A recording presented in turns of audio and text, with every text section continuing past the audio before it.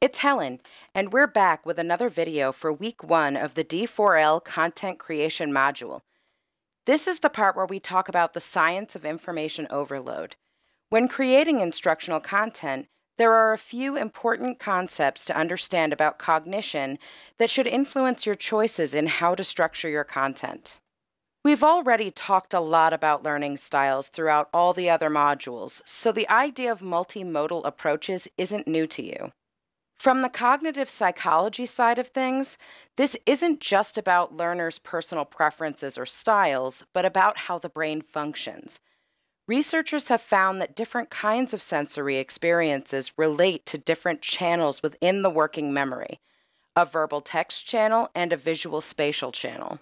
Too much into a single one of these channels can cause overload and impair learning but sensory experiences balanced in both channels simultaneously can support each other and increase learning.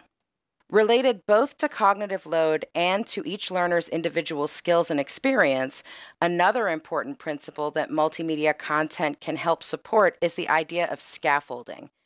This practice refers to providing temporary support to help students reach a higher level in their work than they could without assistance. You don't expect them to reach the top all in one step. You recognize that it will take a series of smaller step ups, each building upon the last. Some learners may climb more quickly than others depending on other factors, and some will need more support than others. Even if you haven't heard of this term used for instruction before, you've probably seen scaffolding practices in action. Here are some techniques you may want to incorporate into your own multimedia content. Chunking.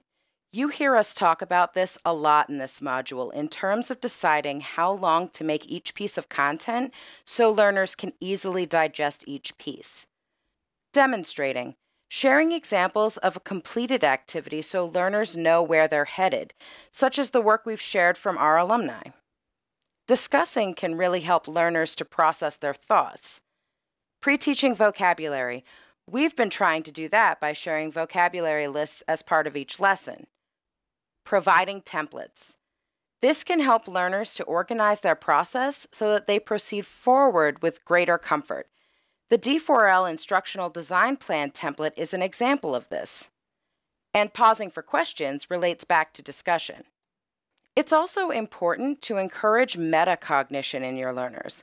This refers to activities where you're aware of your own thought process, such activities have been shown to increase the chances of information making its way into long term memory. Throughout D4L, we have included reflection activities as a metacognitive strategy, along with a defined planning process with the self assessment along the way.